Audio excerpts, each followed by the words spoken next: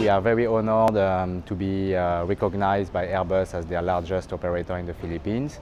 Uh, the beginning have been uh, quite rough and uh, challenging in uh, um, the development stage, but right now we reach a size that enable us to grow our activities in different segments like tourism, and um, we are going to other new segments. Um, so the show has been great, meeting uh, other manufacturers, uh, such as Bell as well, um, in which we are going to get the first uh, 407. we are also looking at adding more aircraft types. Um, and um, we are going to meet uh, today some other uh, OEMs. Well, um, uh, today the, the, development of PhilJet has been possible thanks to our great team. They have been working very hard for, since the beginning and we are now looking for the next 20 years.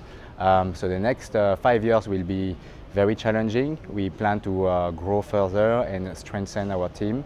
Um, so we will also look at regional expansion.